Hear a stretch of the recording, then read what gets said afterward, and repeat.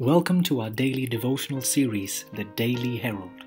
I pray that these messages will come to you as an encouragement and a reminder to be heralds of the Lord daily. God bless you.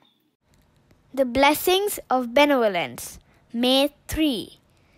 The generous soul will be made rich, and he who waters will also be watered himself. Proverbs 11:25. Divine wisdom has appointed in the plan of salvation the law of action and reaction, making the work of beneficence in all its branches twice blessed.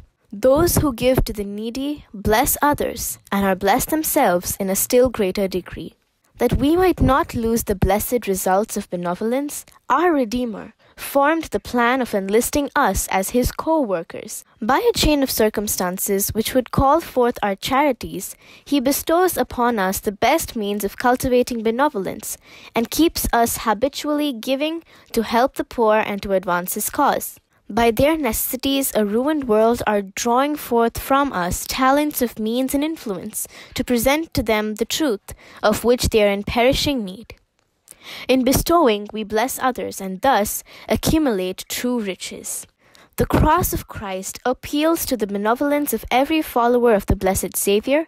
The principle there illustrated is to give, give. This, carried out in actual benevolence and good works, is the true fruit of the Christian life.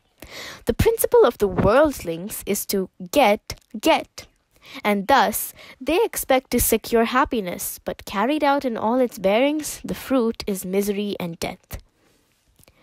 Christ assigned to human beings the work of spreading the gospel.